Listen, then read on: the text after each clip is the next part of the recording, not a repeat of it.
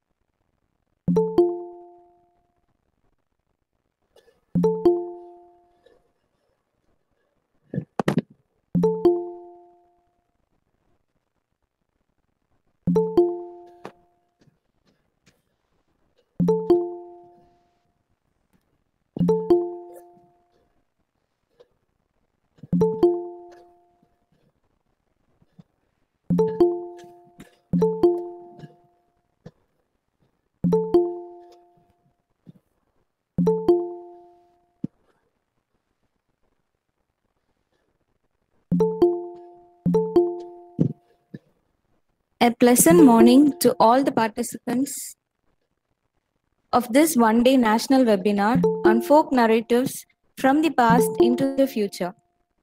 Let us embark today's session with a prayer song.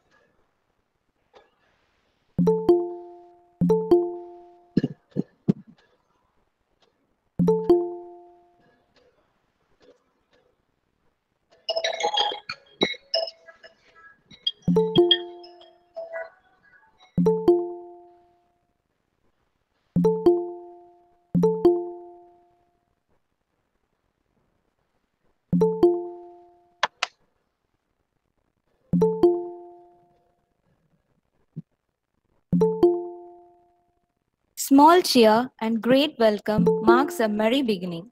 I invite Dr. Albie Grace, head of the department, to deliver the welcome address.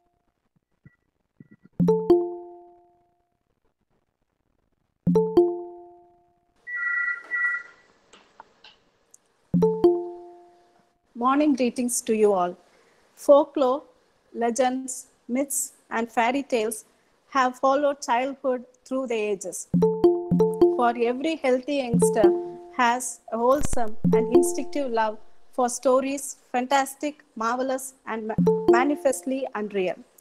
On the outset, with warmth and immense pleasure, I welcome all the participants of this national webinar on folk narrators from the past and into the future.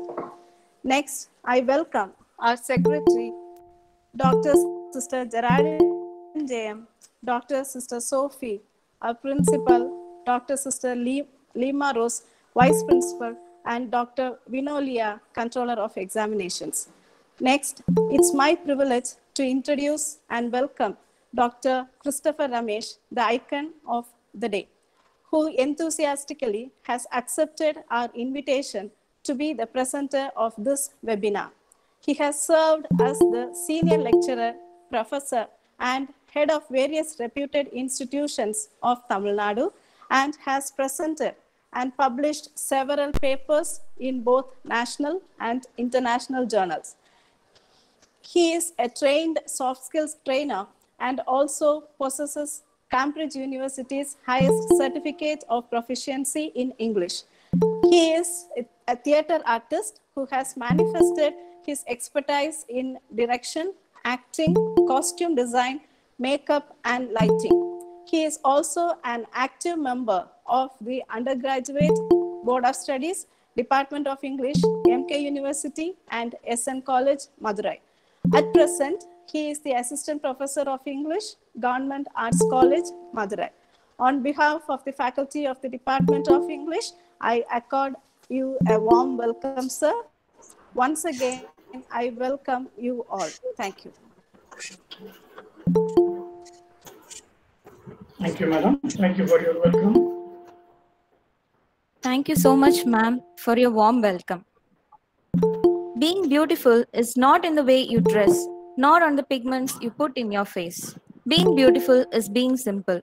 I invite Dr. Sister Anne Pepet Sophie, our principal, to give her felicitation.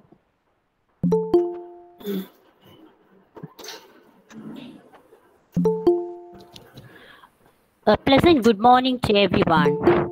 I'm delighted to meet all the participants of today's webinar to this online platform. I'm glad that there are teaching faculty, research scholars, students, and others present now who have responded to our invitation with eagerness and interest. Hearty welcome to each one of you. Glad that we have in this webinar today participants from different states. Thanks a lot. The COVID 19 pandemic sweeping across the globe has its impact on all walks of life. It has created a new normal situation posing challenges. We need to accept and cope up with it with prudence. This situation has also created opportunities and opened avenues in different fields. We need to seize these chances and get back better. Res- keeping this in mind, the PG and Research Department of English aided of our college is organizing this national webinar on folk narratives from the past into the future. Today, we have with us an eminent resource person, Dr. Christopher Ramesh, Assistant Professor of English, Government Arts College, Madurai, to give us an enriching session. Sir, on behalf of the management, staff, and students of Holy Cross College Autonomous Nagercoil, I extend to you a warm welcome and invoke God's blessings on all your endeavors. I congratulate the faculty of the Department of English, aided particularly Dr. Albie Grace, the head of the department and convener of today's national webinar, and Mrs. Sadhana, the organizing secretary, for making efforts to realize this day come true. At this juncture, I offer my warm felicitations, implore God's blessings for a fruitful webinar, and wish each one of you all the best. Thank you. Thank you, sister. Thank you for your welcome. Over to Dr. Christopher Ramesh to enrich us with his insights in folk narratives. Thank you, madam.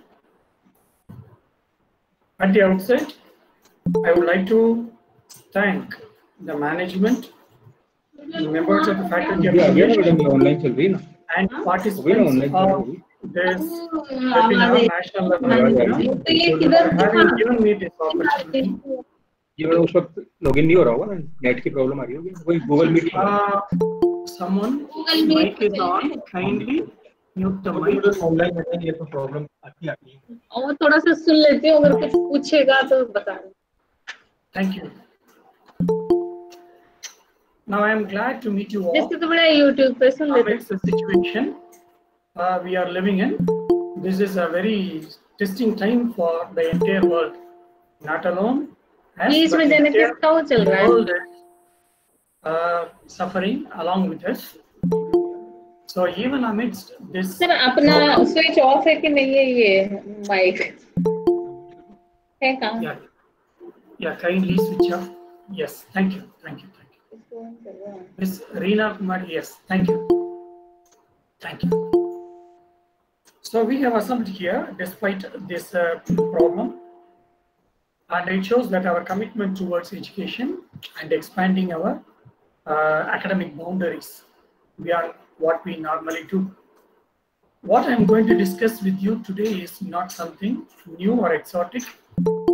Not only students and teachers of literature, but the entire humanity knows this subject very well because um, stories, narratives, stories, these are all uh, very uh, in- in- integral part of human life. It has been there since the beginning of time, since humans came uh, to the earth, though we are all uh, the latest addition in the nature, the growth we have seen in the very short span of time, it's really amazing. And the human growth is not just measured by materials and science and technology. Their large civilizations are not judged by their buildings and uh, the wars they won. They are also measured by the richness of their culture. And one of the most prominent ingredients of indexes of their culture is their language, literature, and narratives. Throughout the world, the antiquity of a culture is also measured by the antiquity of their literature. But often we are at a loss when we try to find the source of certain stories. Because some stories uh, whose sources are unknown but find their way to modern narratives, even in contemporary. So we always wonder what would be the source of uh, these narratives, modern narratives. Where do all the stories come from? Do filmmakers, novelists, playwrights, artists, they invent stories? No. All stories come from some common sources. And we are going to discuss the source of all stories.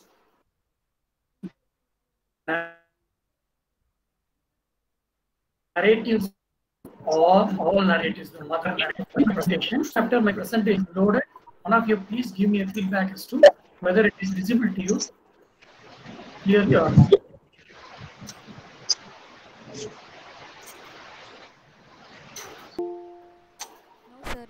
It's not visible. Hello Yeah, just a minute, it is loading. Okay, Okay. It's visible, sir. Okay, thank you. Am I audible to you? Ah, yes, sir. Is my thank you. Right. So folk narratives from the past into the future. So I believe the title itself makes a connection between the past and the future through folk narratives. It also indicates that folk narratives do not belong to the past. They pervade into the present and will pervade into the future as well. So it is a, a binding agent that transcends time and space. I welcome you to my presentation. Now there is a beloved across all the time, across all the countries. Knows this phrase in different languages, Danish, uh, Dutch, German, Italian, Norwegian, narratives, Portuguese, Spanish, Swedish are all Java, uh, English, very, they don't make sense, integral part of human life is also familiar, been there since the beginning of time. So since humans came, regional language, or mother earth, that beloved phrase, we are in English, since the beginning of time. Once humans came, so there is no human being, though we are all positively to this phrase. If we look back our life, our life has a considerable part spent on listening to stories. How we were captivated by this phrase when our grandma and grandpa started telling this phrase. So our uh, many years are filled with stories. Now, naturally, we have a question in mind. In the difficult survival situation, do stories play any significant role? Do we need stories? Is it not a luxury? But Ferdinand de Saussure says something interesting. According to him, the world is made of a linguistic reality. He says we understand the external reality only through language. If I had to convey something, I have to use a language, right? That even if it is a material, I have to use language to name that material. For example, if I say mango, if I say apple, if I say elephant, that are not physically present before you, still you are able to understand. You recognize what I say. So this is what Saussure says, that the world is made of linguistic reality. Here is also say the world is constructed on narratives.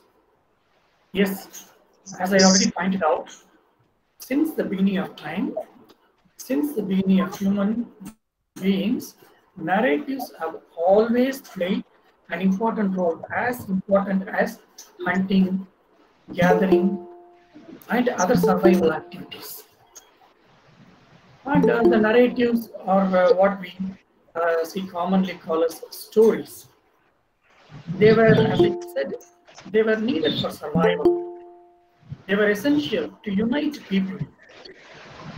They display our ambition, people's ambition, rivalry, fear, respect, fantasy, wish fulfillment, entertainment, and education. Let us just look back. When we identify ourselves as Indians, or as Tamil people, or Keralites, or uh, uh, Biharites, or uh, Mumbaikar, so from each place, you would have come across some stories, narratives that give us some sense of identity, an Indian identity, a regional identity. And the stories also display India's ambition. During the freedom struggle, there were many stories and slogans that, that demonstrated our ambition for a free India. And stories also show rivalry during the struggle, the rivalry between the Indian freedoms, British colonialism, the fear of oppression, the respect for arts, the respect for elders, and our interesting way of fantasizing things. Okay, during the freedom struggle, even before, uh, way before freedom was actually achieved, Tamil poet Bharatiyar composed a poem in celebration of freedom. Let us celebrate freedom this. And it is also kind of a natural fulfillment. So stories are not just for entertainment; they are educative as well.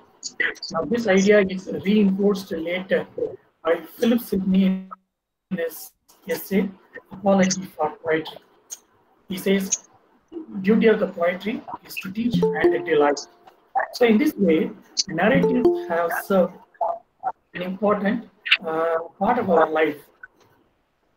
And narratives also serve a kind of an outlet, creative outlet for expression of our fears and taboos too. Sometimes when we don't want to uh, do something or when we don't want our children and the later generation away from some evil practices, negative practices, everything is embedded in the story, right? They uh, say allegorically they create a kind of fear in the minds of young people to stay away from certain negative behaviors. And uh, as we already saw, that narratives have a functional purpose. They are functional for our personal growth. And science says that our cognitive growth, our mental growth, learning all these things, they are nurtured by stories. Stories play an important role in our growth development. In addition to that, stories are integral our culture. Stories we live in a politically world in India and elsewhere. I mean, are German, or New Zealand, everywhere. And they also help social and spiritual growth.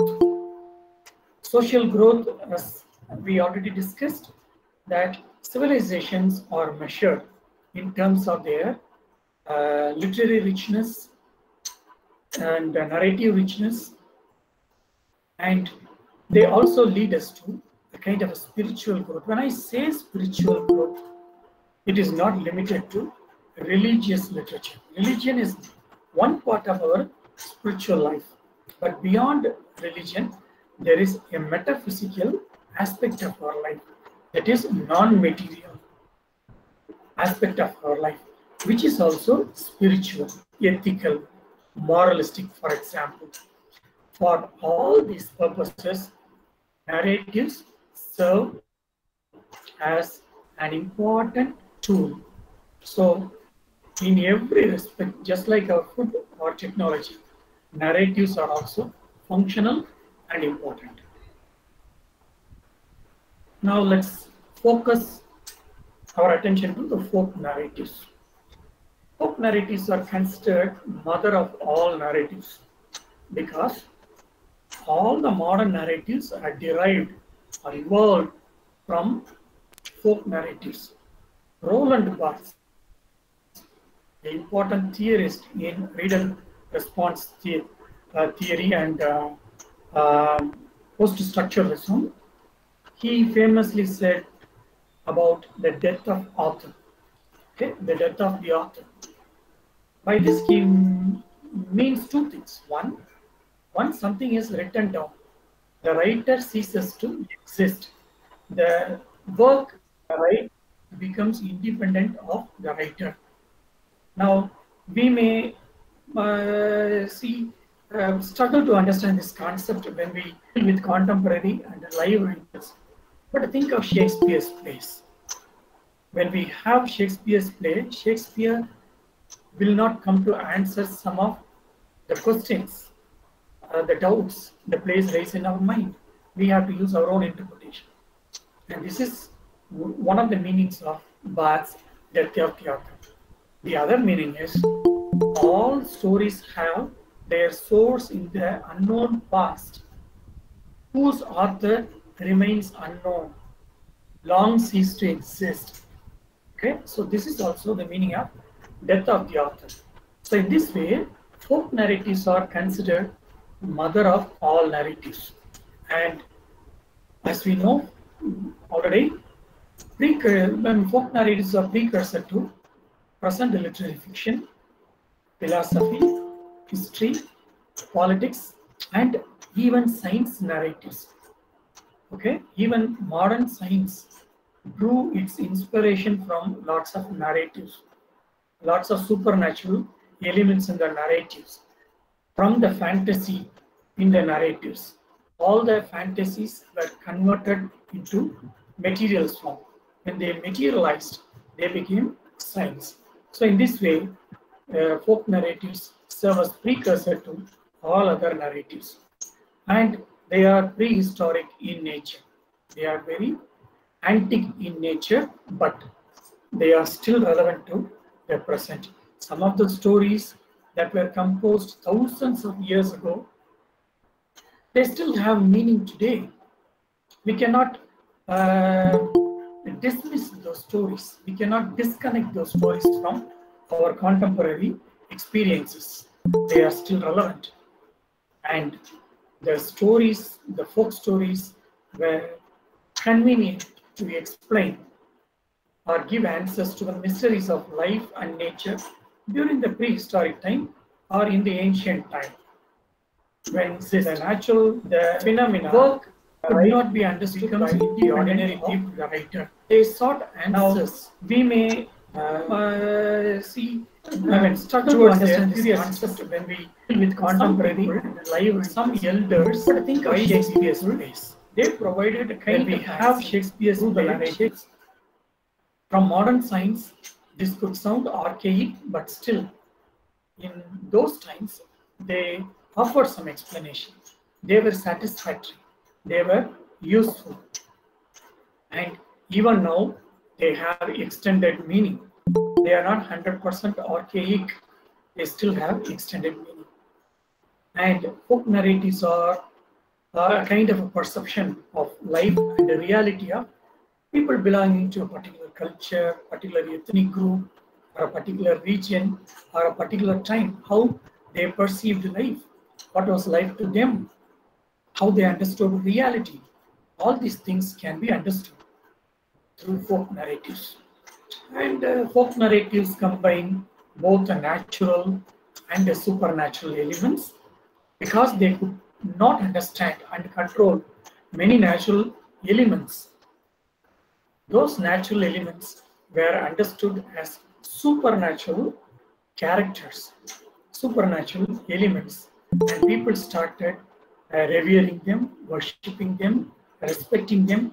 So naturally, the folk narratives are enriched with supernatural elements also. And uh, uh, they serve as a bridge between, in any household, grandparents and grandchildren. When grandparents tell stories, grandchildren eagerly listen. And this way, there is a transcendental relationship between generation. A kind of a bridge is built across generations between the past and the future. So in this way, folk narratives are still relevant. Now let us consider uh, the word origin. The word, uh, though the idea is very old, the term was coined recently, as recently as 19th century by a German poet, Johann Gottfried Herder. He introduced the term. He, in German, he used the term Folgedichten. In German, this, the verse sound is pronounced as first sound. So this word means folk literature or popular literature. People, noun, popular, adjective. People's literature, popular literature means. And uh, we know that uh, we have a car, a German car with the name Volkswagen, which we normally mis min mispronounce as Volkswagen. It is actually Volkswagen, people's carrier. That's the meaning. So folk means people. And the folklore refers to the oral narratives, people's oral narratives. Now, these oral narratives are uh, pervasive everywhere. They are found everywhere, in every corner of the world, in every part of our country, in every part of our state, our city, or our village. There are oral narratives. The narrative is told by grandparents. And uh, these folk narratives are also uh, variously called as fable or parable or stories. Okay? So this is the origin of the term folk narrative. Now folk narratives also have different genres. Uh, the broad uh, classifications are myths, legends, and folk tales.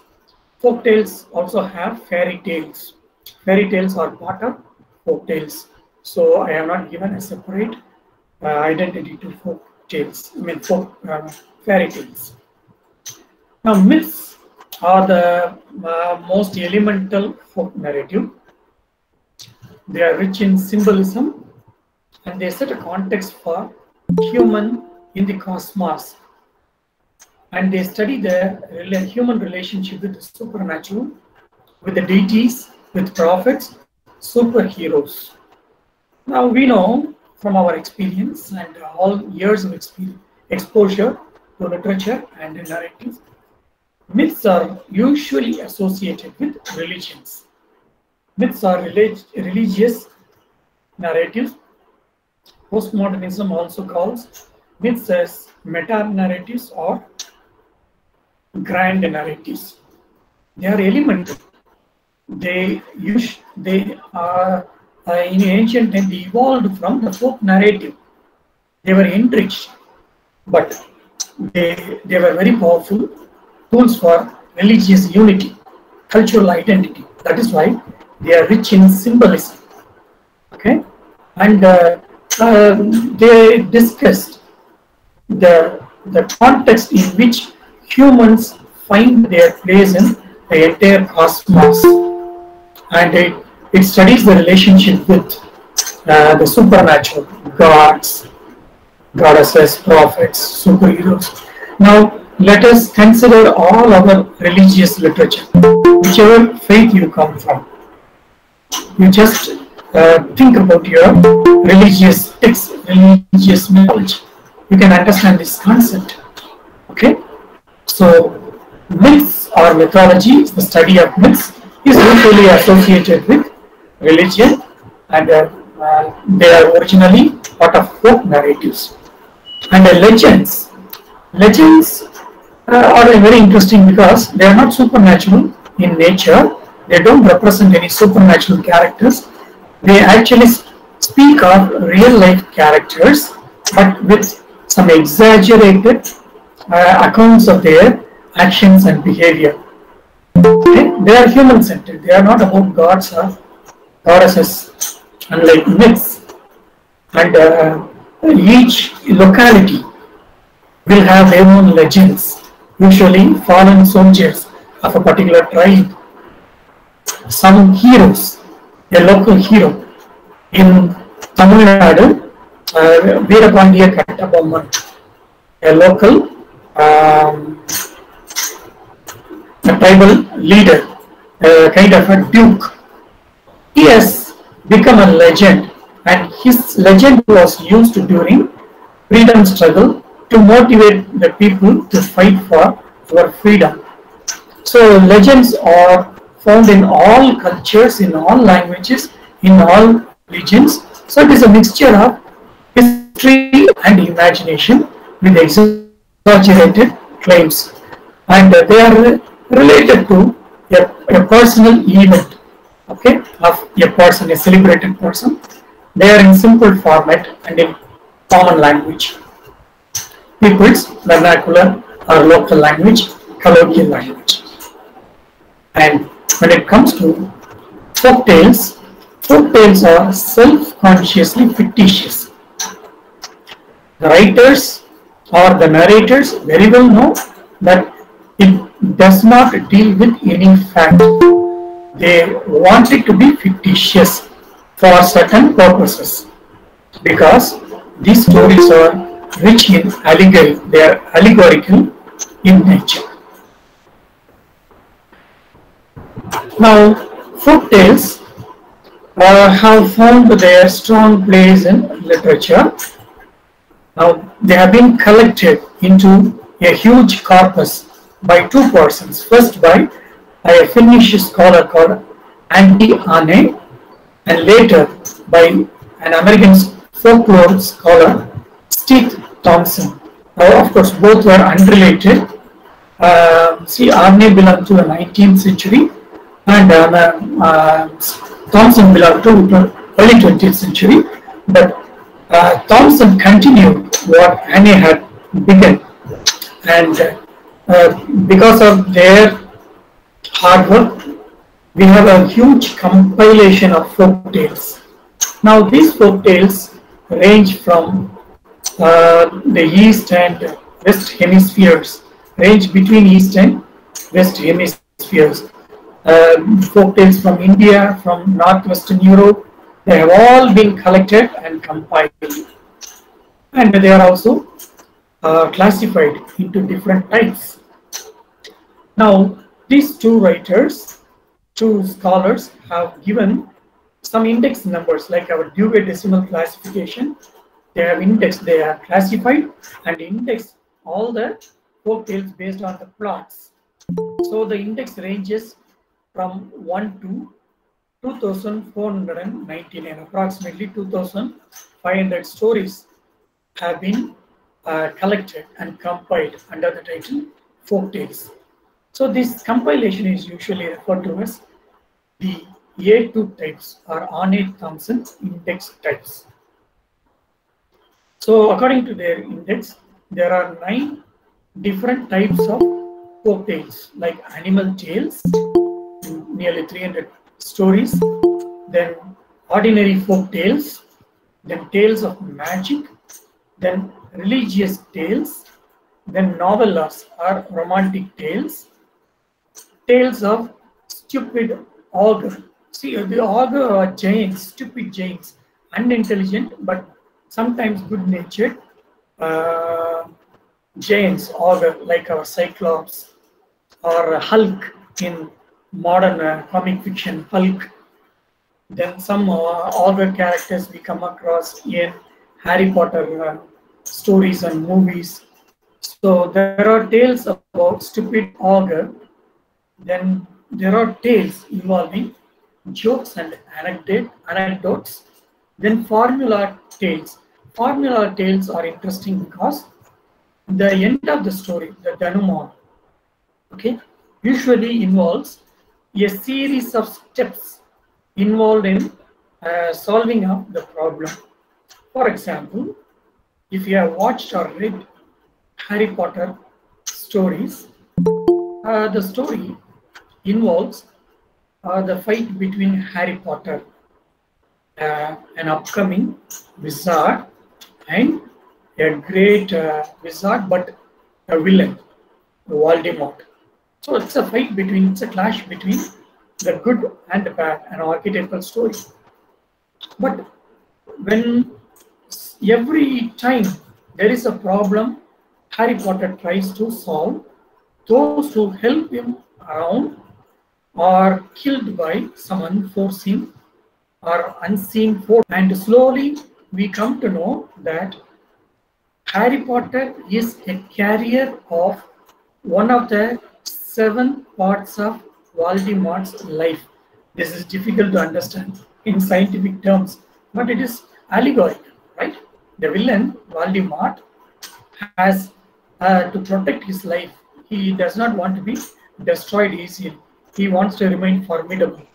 So he divides his life into seven parts and he embeds each part of his life in uh, different places. So Harry Potter and his friends and his associates, those who are close to Harry Potter, those who want to protect Harry Potter, together they kill or destroy each part of Voldemort's life. And towards the end of the story we come to know the seventh part of life is embedded in Harry Potter himself. So in this way, there is a formula to kill, to destroy, to overcome the villain. Such type of story is called formula story. Uh, this is also famous in Arabian uh, Nights. The Sindbad story. Every time Sindbad accomplishes a, accomplishes a mission that leads to another step in a mission or adventure.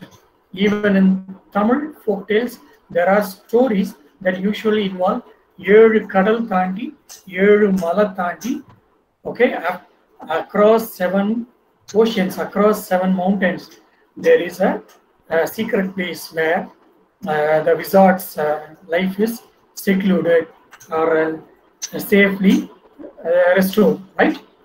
So these are all the stories. That are called formula tales and there are some unclassified tales also. So these are the folk tales classified by AT under nine titles based on the theme. Now, the most interesting uh, highlight of folk tales are the animal tales.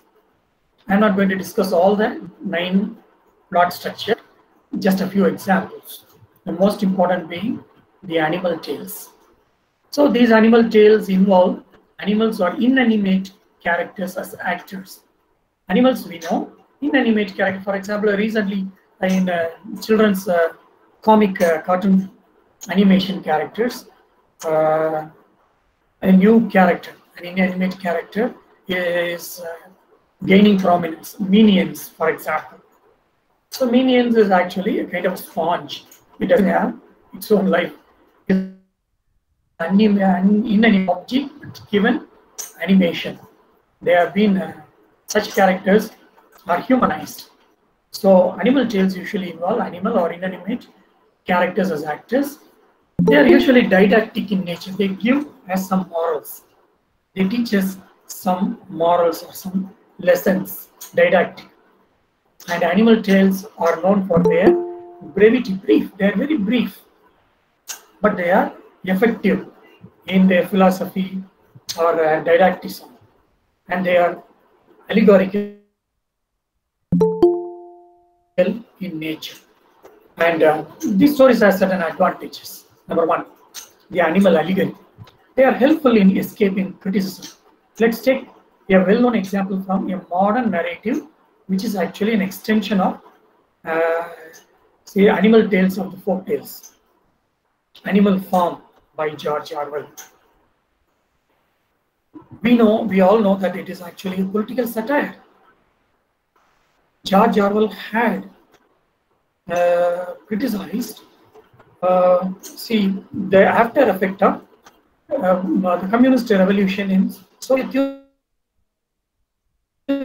Okay, he took sympathies for, uh, uh, he developed sympathies for the founder of the communism, the idea, like Karl Marx. Karl Marx come, comes as the old major, old major character.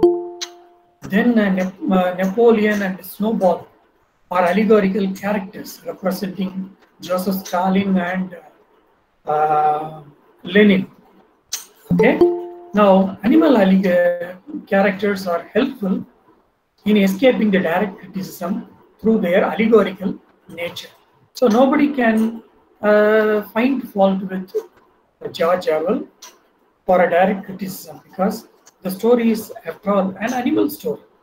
Okay, so only those who have the ability to in- interpret and read into, read between the lines to see the political nature of the discourse can understand this allegory and appreciate the true meaning.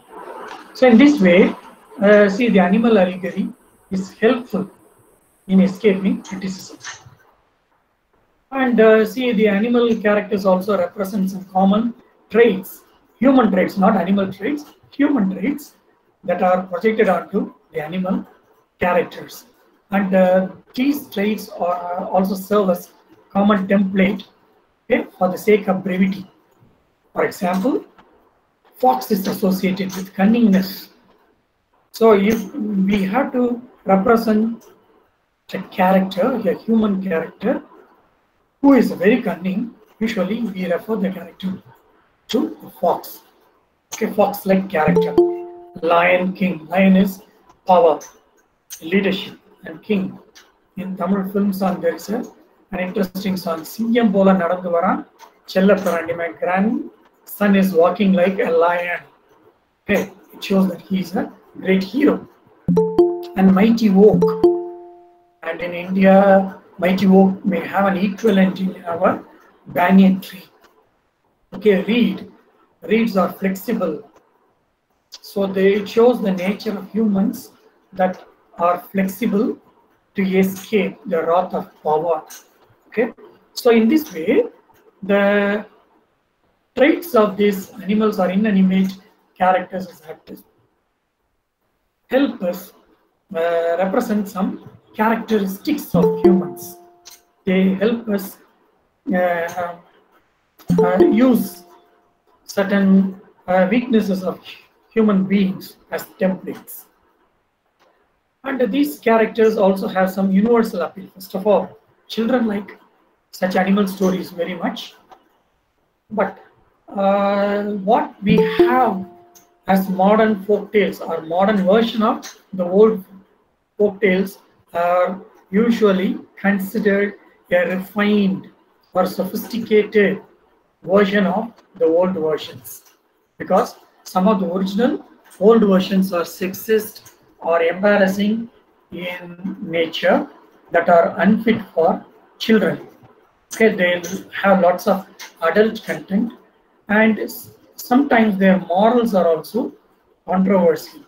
As teachers, scholars, students of literature, we know morals do not have static meaning.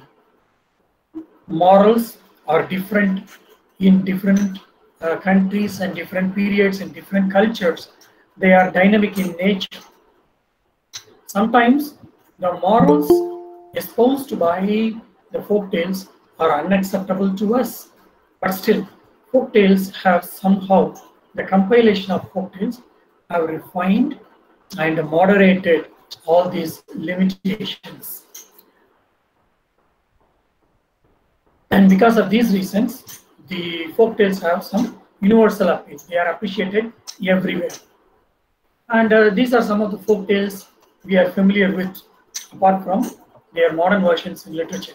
Aesop's fables from Greece, the Panchatantra stories from India, the stories from New Testament and Old Testaments of Bible, the fairy tales, Arabian Nights, and so on. So my entire presentation is not an exhaustive one. This is just an illustrative one. So you can do your own research to collect more information about folk tales and uh, uh, stories that are circulating for a long time across the world. Now, I told you that uh, stories, folk tales have universal appeal for certain reasons. So the reasons are these stories have lots of archetypes. They are archetypal in their motives. Motives we know when certain imagery or certain symbols are recurrent in nature, they become motives.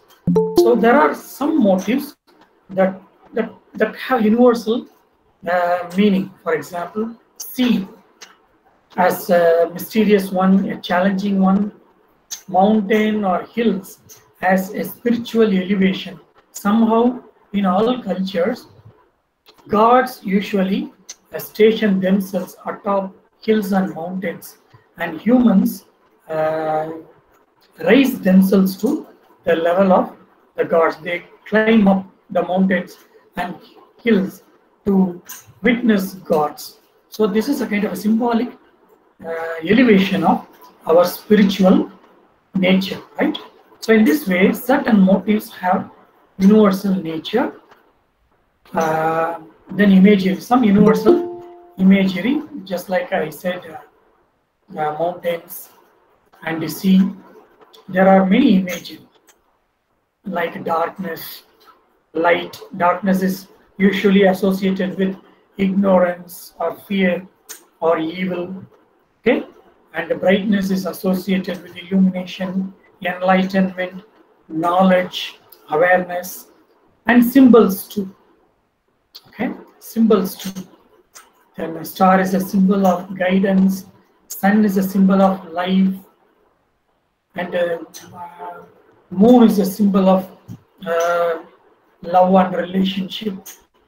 And there are many themes that are archetypal in nature too, which we shall examine in our in my later slides. And uh, the folk tales also hold so many psychological truths. Folk tales serve as wish fulfillment. Uh, see, many of our wishes, we know, we are familiar with uh, Freud's uh, theory of wish fulfillment, fantasy, imagination, dream states. So every folk tale is a kind of a wish fulfillment. And uh, the fantasy is actually a kind of uh, a, a trajectory, a path towards visual fulfillment. For example, uh, Harry Potter, the modern Harry Potter. The writer of Harry Potter, J.K. Rowling, was a destitute, a single mother living in dirt poverty. She could not even uh, make three square meals every day. She lived in abject poverty. When she was very poor, when she could not fulfill even the basics of life, how many dreams she would have had about food, about comfortable life, if only she had a magic wand like Harry Potter. How many problems could have been solved? But she met with so many problems like Voldemort unseen. Okay? Unseen. And the perpetual problems, every so many challenges she had to overcome. So this is uh, Harry Potter is a kind of wish fulfillment.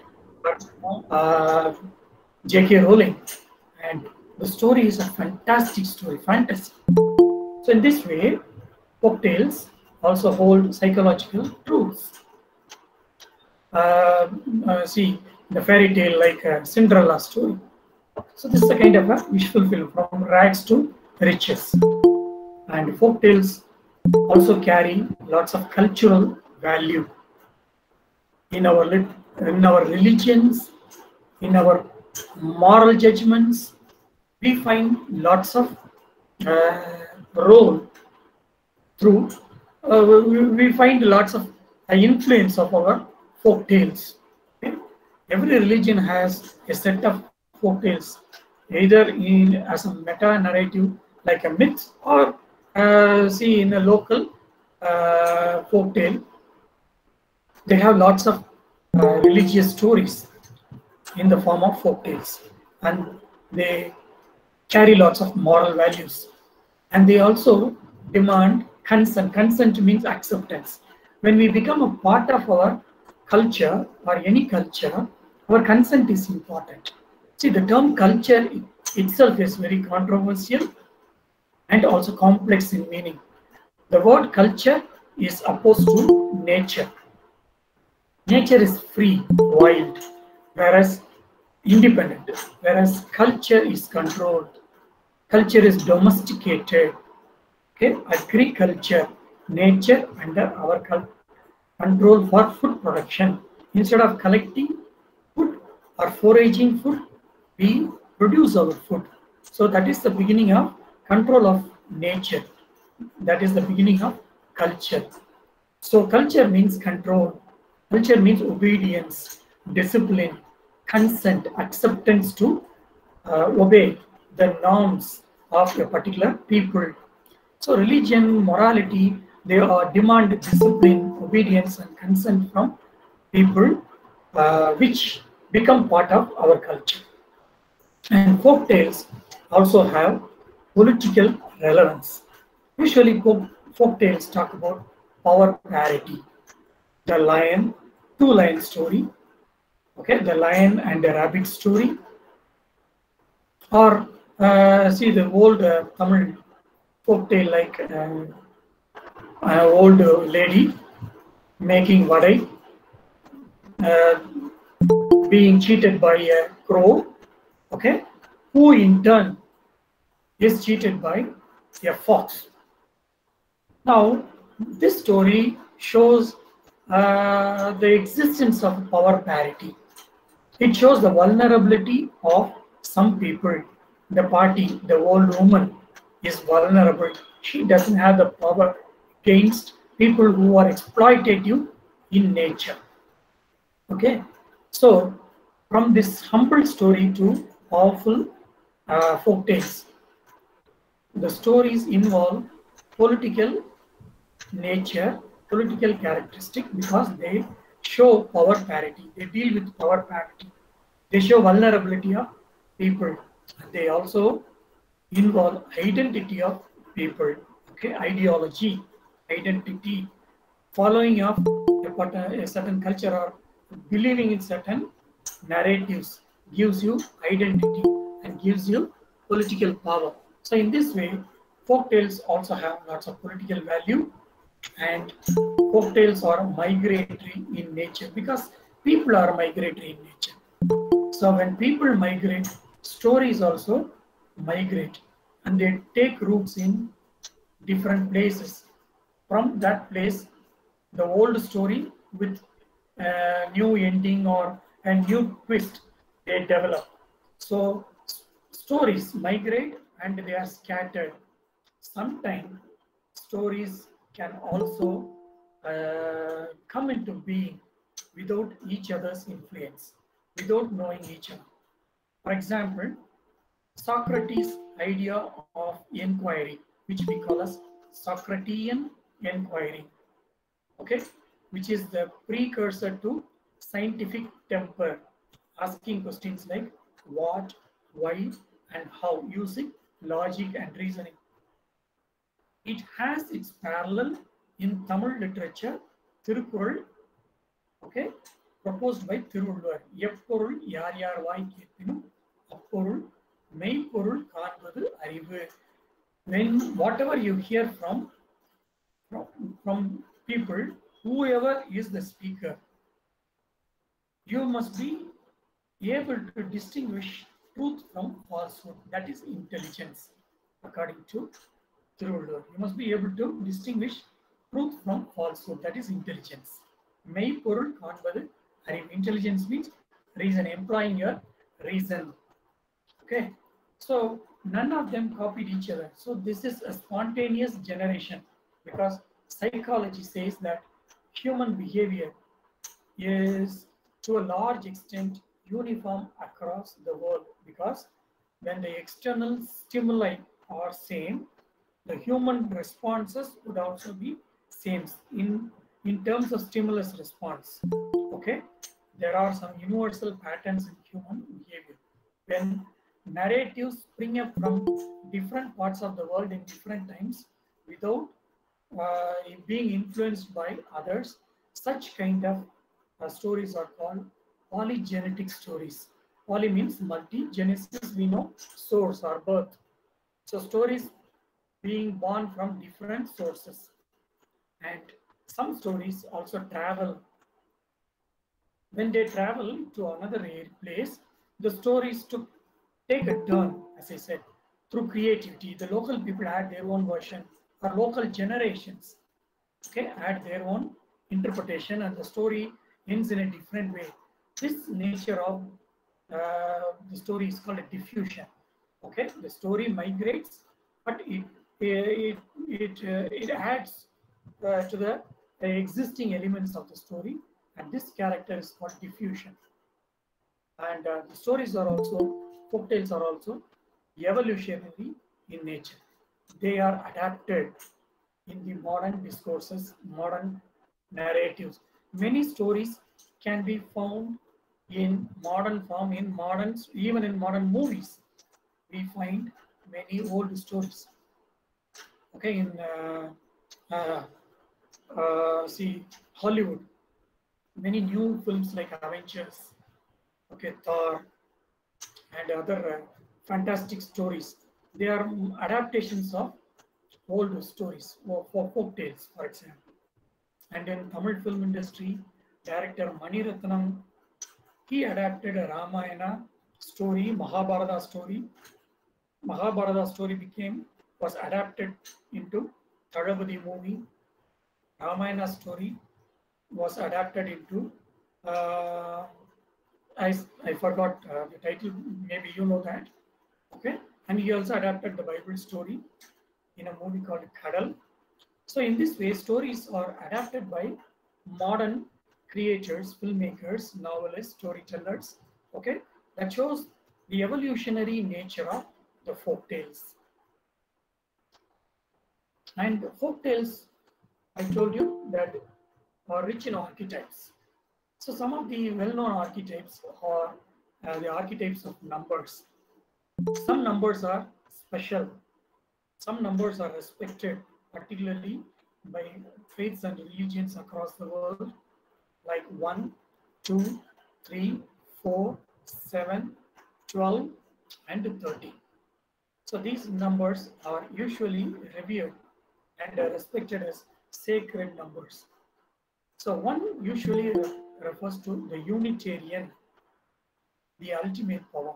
Okay, the Unitarian nature of God. For example, Unitarianism, Ondre Kulam, Oruvane Devan. All people are one. God is one. Love is God. Okay, the binary, right? With one being the prime number. And two usually refers to the duality or dichotomy in a mind dark white binary nature dark white okay day and night men women good bad nature culture right? And three is also a sacred number. Most of the religions have this trinity. In hinduism um, hindu uh, scriptures talk about the holy trinity of gods brahma vishnu right this holy trinity in god. The god of uh, creation god of sustenance and god of destruction. Uh, and in christianity judeo-christian traditions the jewish christian traditions trinity plays an important role. Okay particularly the christian uh, trinity. Father son and the holy spirit. So in this way trinity the number three plays an important role in our religion. It is a sacred number. And four is actually uh, means a completion. This is also a sacred number okay square. Usually the temples and the religious places usually they have the square shape. And it shows it indicates the four seasons four stages in human life. And seven is also a sacred number almost all religions uh, celebrate seven as a sacred number seven days.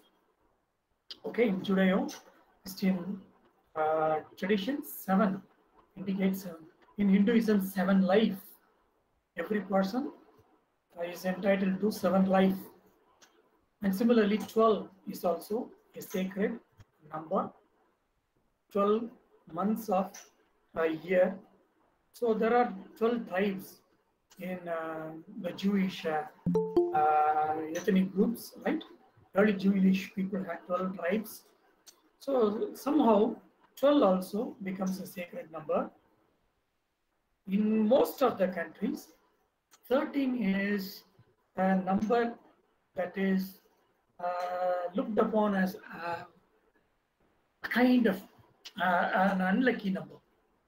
Okay, they look upon the number with some kind of fear or uh, uh, uneasiness because 13 is an odd number. Okay, it is not divisible. So, uh, in most of the cultures, 13 is looked down upon. Yeah, 13 is feared. And there are many symbols, archetypal symbols like triangle. Triangle represents, uh, uh, see the Trinity, okay, square, then six point star, circle, circle usually refers to the circle of life, circumference of earth. So the circulatory nature of fate. So circle is also an important symbol. And color symbol, white, peace, black, uh, death or uh, negative. Of course, the meaning of these colors are changing.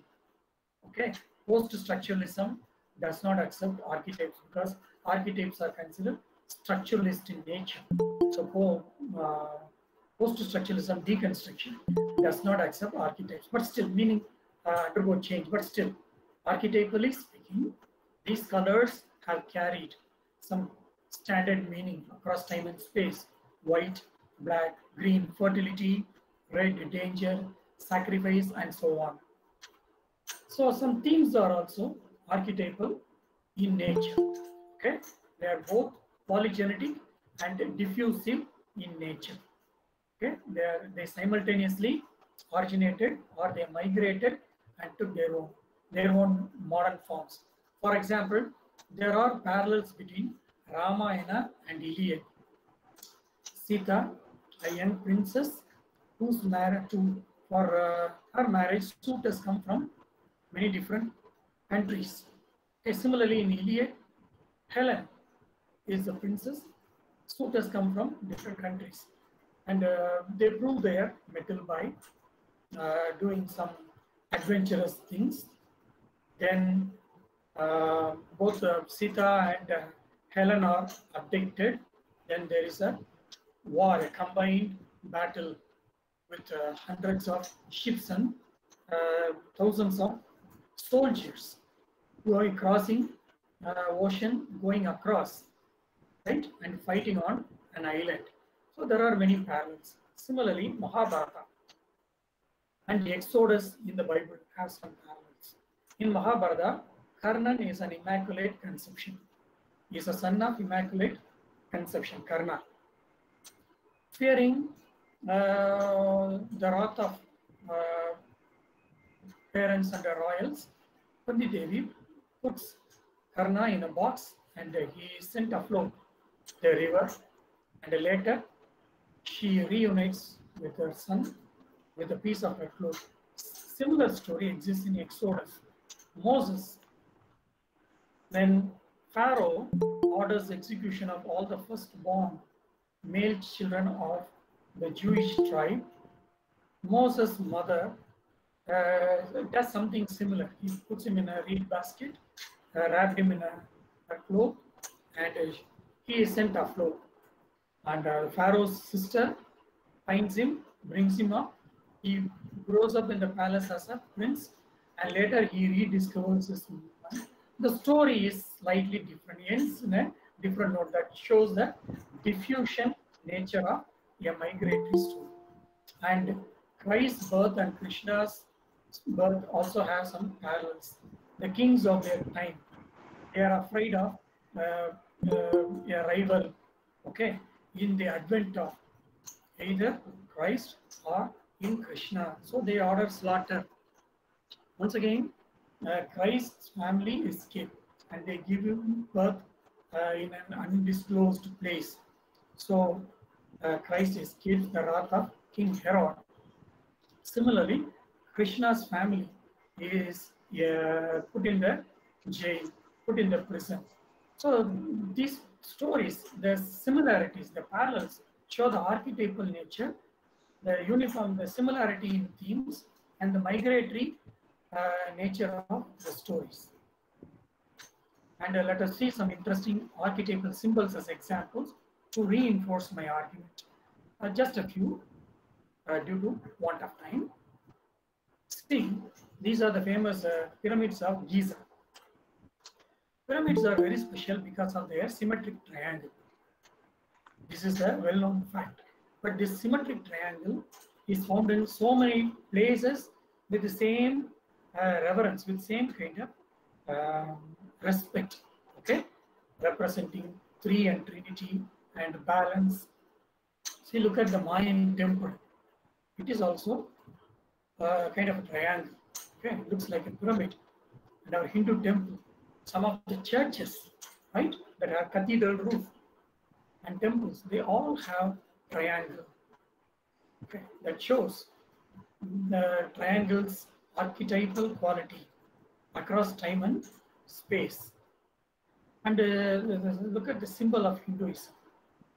The interlocking inverted triangles. So two triangles are interlocked. Inverted triangles are interlocked.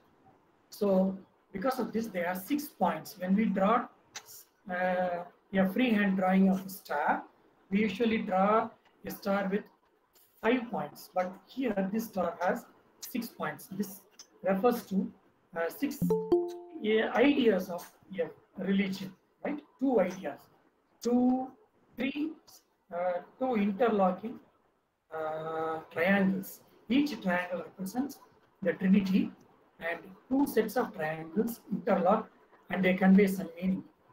The same symbol can also be found in Israel's flag and in Christian tradition. Star, the six point star. In Israel, uh, Jewish culture and Israel the flag, the star is called Star of David. Okay, David Meekan. So this is um, a powerful symbol in Jewish culture and Israel's history. Okay, and Christians during Christmas they decorate their houses with star because the star also shows the direction of the birth of uh, Jesus. So in this way, stars, the interlocking triangles made into star, they become powerful symbols across time and space.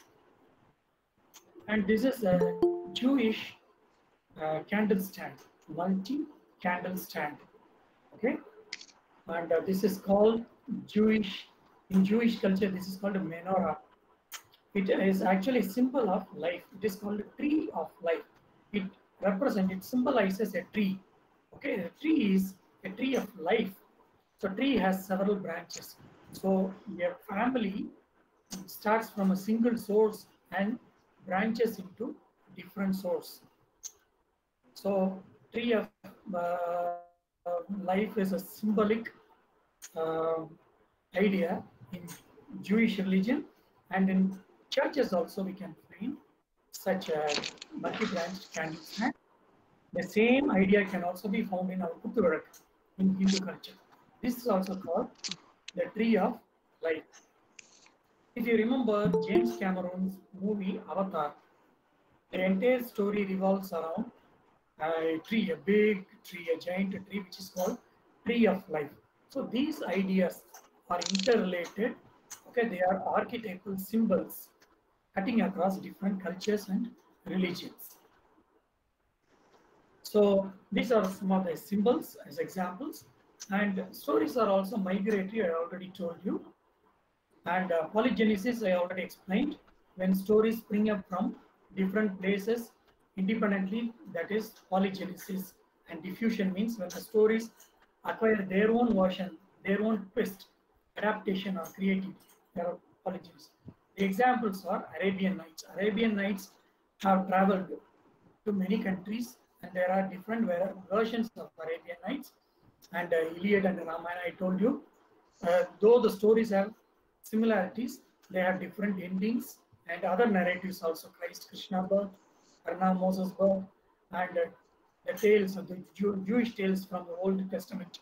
They have traveled to different countries and uh, because Jews travel across the world, they carried the stories and stories they uh, also developed in their new places, in their adopted nations, and they were given a new twist. So in this way, stories also migrated. And this idea I pointed out, they have cultural values, religious and uh, identity values, and they have also become part of our popular culture. Okay, folk tales have taken new forms I we already discussed.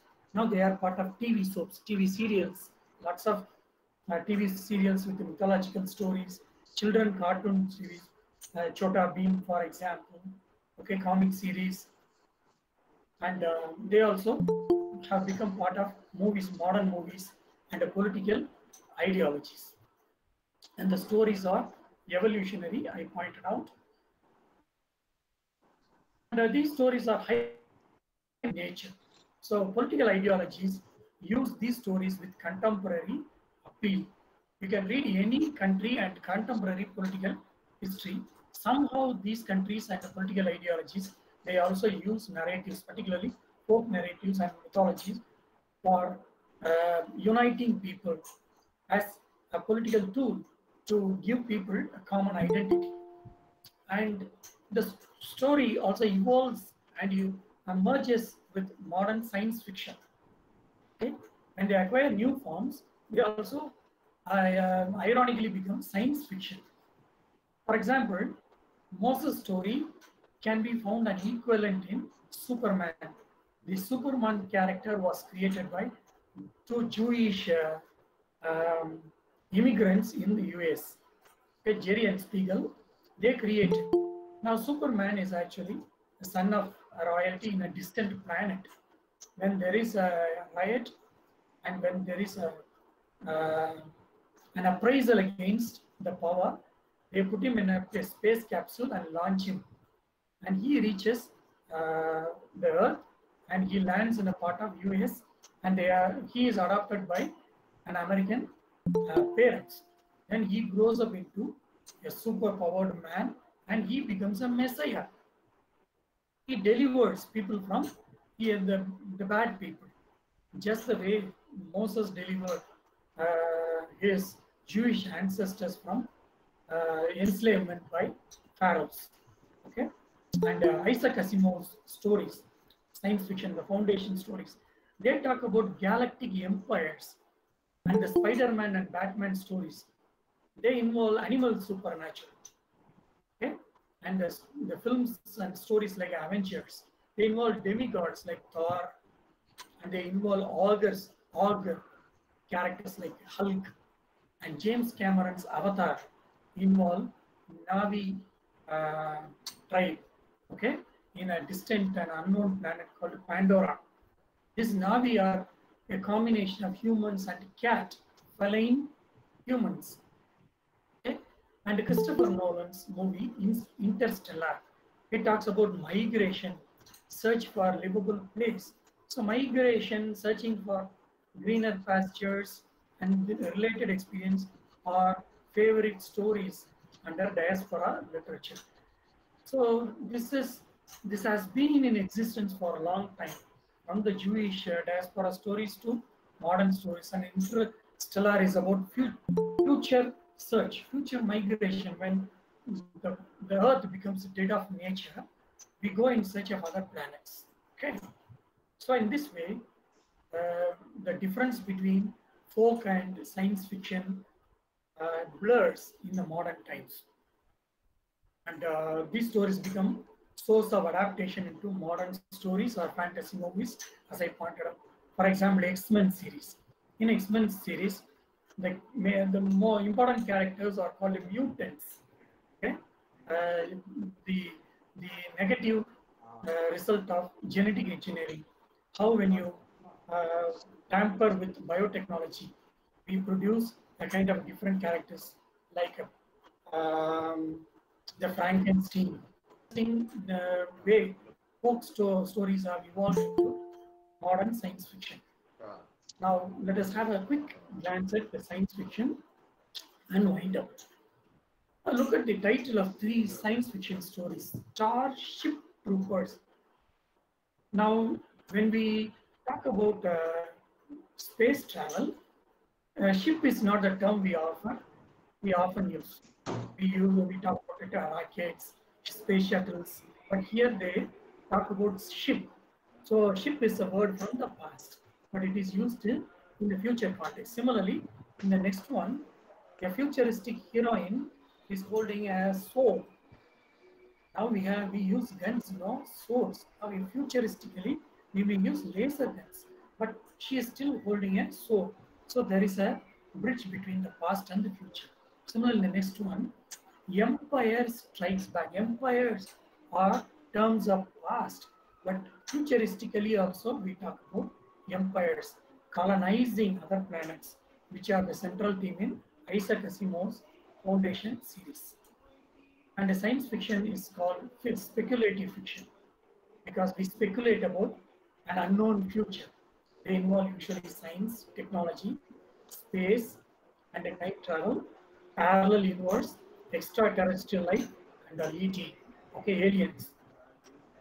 And science fiction are also called the literature of ideas or knowledge or science, but they are not new. They had their beginning in ancient time itself, and the line between myth and fact was blurred. And in the 22nd century uh, AD or CE, see the modern timeline is secular in nature. No more BC or AD, it is CE or BCE.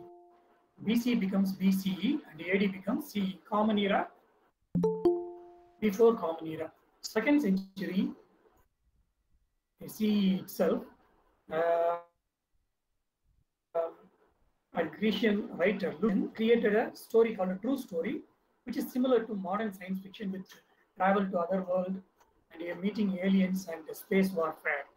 So in this way, uh, there is a crossover from science to humanities. There is a connection between science and humanities through science fiction. And the science fiction, they came into being in Europe through Renaissance, scientific revolution, through the age of enlightenment.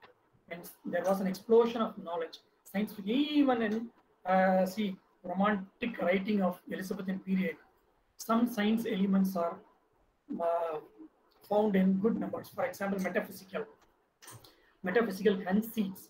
Compass, for example. Compass was a new uh, invention. Uh, it is a material, but uh, Donne uses compass, the material, to mean something metaphysical, something physical to mean something metaphysical, love between a husband and wife. So they slowly pervaded into the modern time. Then we have Francis Bacon. He wrote a kind of science fiction in uh, modern understanding that it was, that was a science fiction which is called a New Atlantis.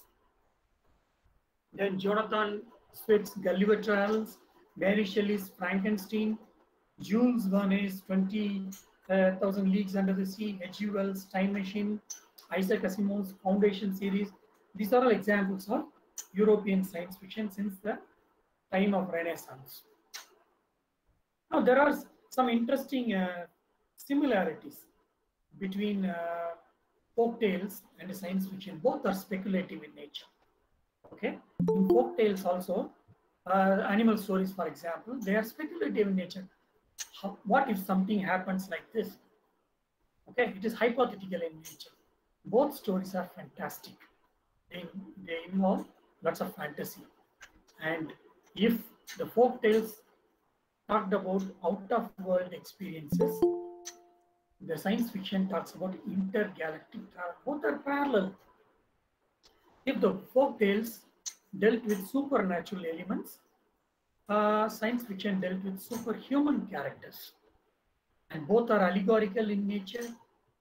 They mean something else. And both are criticisms of their present time. Right? Asimov's novels, 1984 by George Orwell, or Time Machine by H.G. Wells, they are criticism of their present times. If we find gods and goddesses in folk tales, we find aliens or extraterrestrials in science fiction. And folk tales come from the unknown past, and science fiction lead us into the unknown future. These are the striking similarities between folk tales and science fiction. So in this way, we understand that folk tales evolved into modern form and they uh, go into the future in the form of science fiction. There are few dissimilarities. Yes. Only the, the dissimilarities or differences are folk tales are based on belief, faith. Animals cannot talk. Okay, gods or goddesses cannot participate in our day-to-day affairs. Whereas science fiction is based on logic probability. Many things that were uh, part of fantasy and imagination in the past have now become fact. They are possible in the modern life. So it is based on logic. If folk tales are based on myth, science uh, fiction is based on facts. And if folk tales are religious in nature by and large, science fiction is invariably secular in nature. So these are some of the dissimilarities. So I consulted two important books apart from a range of other books, but two important books I refer to for the presentation. The first one is Folk and Fairy Tales, a handbook written by D.L. Ashliman, Greenwood Press, London, published in 2004. The other one is Anthropology, a Global Perspective, edited by Scupin and DeCorse, published by Prentice Hall, India, New Delhi, 2005. So we have seen how folk stories originated along with humans and they traveled across time and place and they pervaded into our present and also slowly inching towards our future in the form of science fiction. They, they become a kind of fillers and they become I mean, master narratives or mother narratives of all our modern discourses. So literature cannot be understood without a, for, a formal understanding, without a good understanding of our folk tales. And folk tales also connect generations. And folk tales offer a rich uh, uh, opportunities for research and further studies.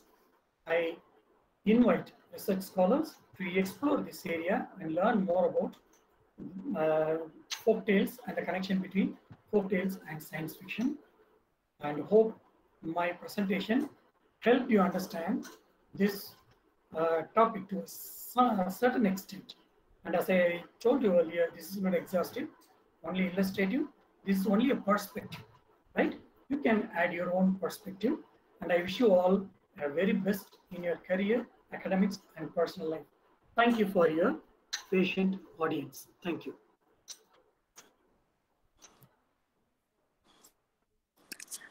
Thank you so much, sir, for a wonderful presentation. Thank you. My pleasure. Sir, okay, sir. Yes, ma'am. Uh, first question. Yes. Can you hear me, sir? Uh, first question by definitely. Meher Gandhi. Yes.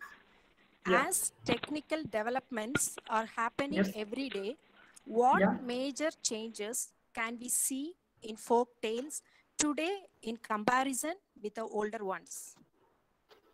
Yes, I already showed you some examples. For example, Christopher Nolan's Interstellar movie. Interstellar movie is an extension, is the modern form of our diaspora stories in search of the greener pastures. How conflict in one place leads to another place. The story of Superman. Okay, how a person's perceived sense of victimization and slavery led to liberation of many other people, deliverance of other people uh, in Moses stories and also in Superman stories. And Avatar, for example, the world is mercilessly exploited in the name of development. Nature is destroyed. This is unacceptable to many uh, intellectuals. There is a huge uh, and a marked difference between those who favor development, material development, and those who want to preserve nature for the future generations. Okay, this clash is all, always there. So when Avatar was uh, released, this movie was banned in Soviet Union and China. If the story is full of fantasy and imagination, why did these countries ban the movie? Because somewhere the allegorically this story, this movie, okay, attack their policies, their behavior. So in this way, uh, see, uh, Avatar is actually an extension of uh, a folk tale, right? The animal folk tale, the, the supernatural, extraterrestrial.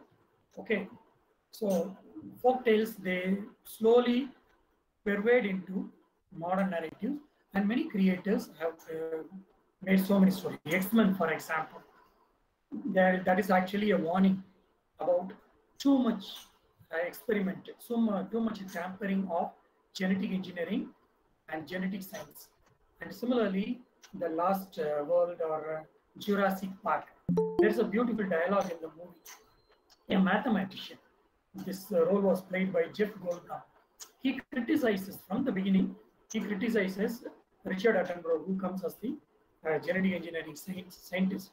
Commercial um, interest in science could lead to catastrophe. So he says, nature in the film here, there's a future interesting dialogue. The mathematician says, nature chose certain animals to be extinct. Any attempt to bring back those animals is a violation against nature, he would say. And we know the film, how the film ends. Okay, too much of technology cannot solve anything. So unless we learn to live a sustainable life, okay, unless we stop tampering with nature, nature will protect us. And even our COVID situation is an example of how our interference with nature's supply chain resulted in outbreak of a pandemic. So in this way, folk tales give us a forewarning. They warn us about consequences, right? And modern movies are a kind of a repackaging old stories in new format. That's all, in the form of science fiction. So they are still relevant in the present. Hope I answered your question. Okay, thank you, sir. Thank you. Next question. Next question is uh, next question is from Ramanan Manu. What is Yes. your opinion of what is your opinion of retelling Yes. of myths? Yeah, well, retelling of myths, uh, as we discussed, myths are also retold in many new forms. I quoted two examples from film industry, Tamil film industry. Mani Ratnam uh, retold uh, Ramayana, Mahabharata, Bible in different forms. Okay, as long as myths are not used uh, are not used for political advantages or uh, discriminatory or uh, uh, violation of human rights or destruction of nature, they are important for shaping of our moral values okay, and creating ethical behavior. They are relevant, but it all depends upon how the story is interpreted and retold. So it all depends upon uh, the narrators, how the narrator repackages and retells the story. What aspect of story is highlighted and with what purpose. There was a film, an interesting film, Fahrenheit 421, I believe, with uh, Denzel, Denzel Washington. Now it is a post-apocalyptic world. It is the world, whole world had become a utopia. Where there were so many nuclear war, and uh, people were are reduced to rubble with the basic.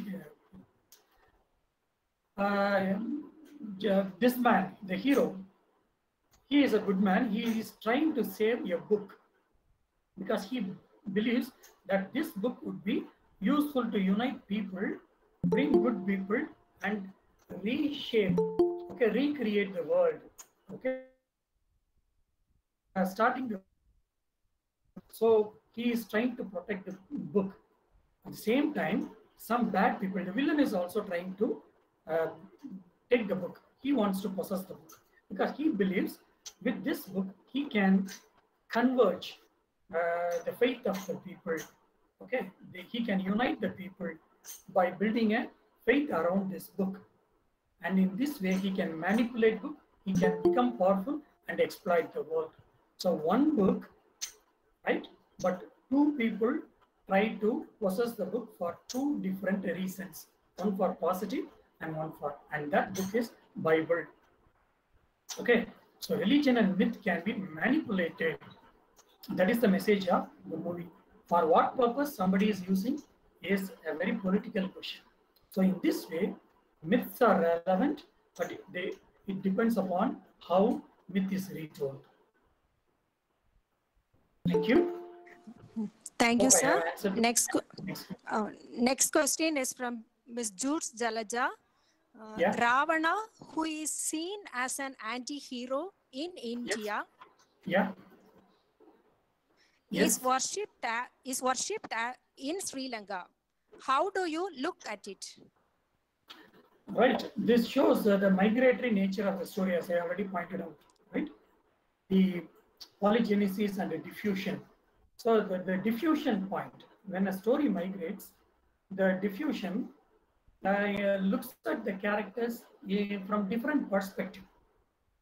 Each culture, uh, I also pointed out that how morals vary from culture to culture, from time to time.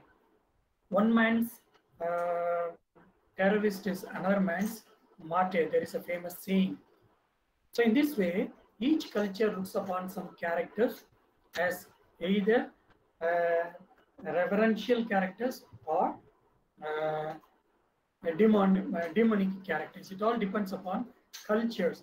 Now, oh, as, as I pointed out in the case of myth, it all depends upon interpretation. Because folk tales, myths, these are all uh, rich in allegory and symbolism. So the way we interpret make the meaning of the text. It all depends upon the reader response. Okay. It is it is subjective. Okay, Yes. thank, Thank you.